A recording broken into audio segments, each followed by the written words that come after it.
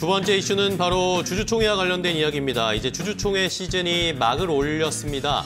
여러 가지 의견들이 제시되고 있는 상황인데 기관 투자자들이 뭐 사전에 미리미리 공개적으로 의견을 제시하게 아, 제시하면서 이 주총 시즌에 여러 가지 이슈들이 떠오르고 있는데요. ESG 전략이라든지 stewar, stewardship 코드와 관련된 변화들이 나타날지 그리고 글로벌 헤지 펀드들은 과연 주주총회에서 어떤 목소리를 낼지 한번 미리 확인해 보도록 하겠습니다.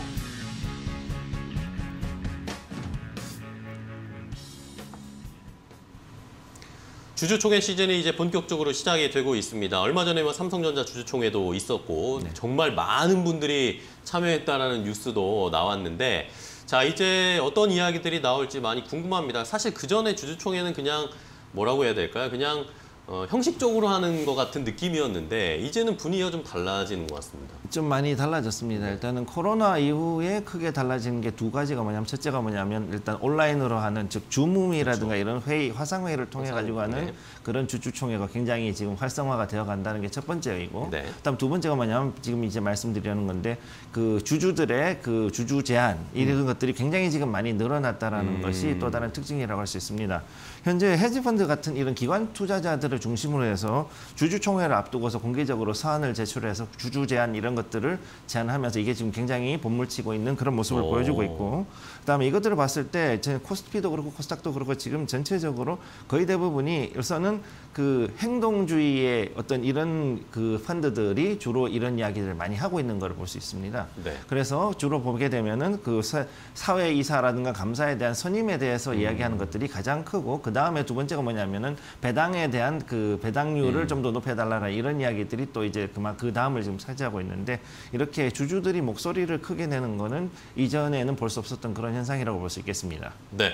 말씀해 주신 것처럼 헤지 펀드 뭐야 외국 같은 미국 같은 경우에는 특히, 특히 행동주의 헤지 펀드들의 입김이 굉장히 세잖아요. 이것에 네. 따라서 주가가 막 출렁출렁 거리고 뭐 경영 이념도 경영 방향도 막 바뀌게 되고 이런데 과연 우리도 이런 문화가 점점 더 정착이 될 수 있을까요?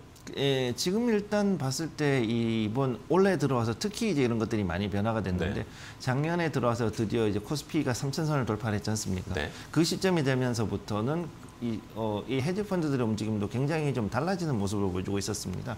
왜냐하면 장기적 지금 단기 단기 투자를 주로 이제 들어갔던 이런 음. 헤지 펀드들의 특성이 굉장히 좀 바뀌어가지고 이제는 배당 위주로 해가지고 즉 장기 투자를 어느 정도 바라보는 그런 펀드들이 상당히 늘어났고 그 다음에 경영권에 참여하려는 업체들이 그런 헤지 펀드들이 굉장히 많이 늘어났다는 게 또 다른 시장의 특징이라고 할 수 있습니다. 그렇기 때문에 KC, KCGI 같은 이런 행동주의 펀드가 지금 한진칼 같은 데도 지금 적극적으로 움직임을 그렇죠. 보여 서 조현민 이사 뭐 선임 반대라든가 뭐 이런 이유도 지금 나오고 있고 그다음 뭐 글로벌 헤지 펀드들 같은 경우는 아예 그냥 공개 사안을 보내 가지고 주주총회 제안에 대해서 이 제안을 지금 계속 내놓는 그런 상황이라고 볼 수 있습니다. 네. 네. 네.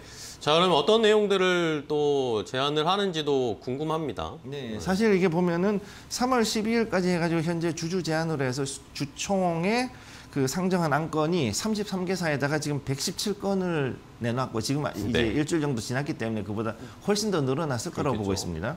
근데 여기서 보시게 되면 주요 안건이 아까 말씀드려서 말씀드린 대로 감사나 이사 선임에 대해서 그거 누구를 자기들이 원하는 사람들을 추천한다라든가 아니면은 자기 회사의 사측에서 이야기하는 이 감사나 이사는 빼달라 뭐 이런 얘기를 하는 반대하는. 것들 이게 가장 많고 그 다음에 배당 성향에 대해서도 지금 이 배당금을 안 내니까 더 배당 성향을 늘려달라 이래서 오히려 이런 경우는 기업 가치를 훼손을 하는 그런 경우들도 지금 생겨나고 있는 게 현실입니다.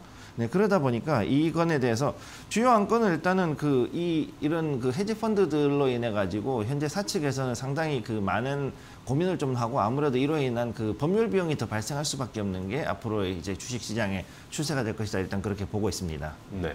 그렇다면은 개인 투자자분들이 이제 뭐 작년이나 재작년에 뭐 이제 처음 주식 시작하시는 분들이 뭐 이런 주주 총회가 열린다. 그러면 어디에 좀 포인트를 두고 이- 이런 것들을 확인해야 되잖아요. 그냥 지나가시면 안 됩니다. 개인 투자자분들. 주주총회에서 어떤 이야기들이 나오는지 어떤 것에 좀 포인트를 맞추고 집중해 봐야 될까요? 네, 일단은 그 먼저 주주총회가 열리게 되면은 먼저 서면으로든 아니면 이메일로든 하게 되면 일단 그 주총회에 대한 그 여러 가지 통지서가 오죠. 통고가 오지 않습니까? 그럼 통고에서 먼저 그 의- 안건이 나오기 때문에 그 안건들을 먼저 면밀히 보셔야 되고 그다음 여기에 대해서 이제 헤지 펀드들이 이제 프락시 그러니까 위임권 이제 그 의결권에 대한 위임을 이제 얘기를 하는 경우가 이제 많이 생길 겁니다.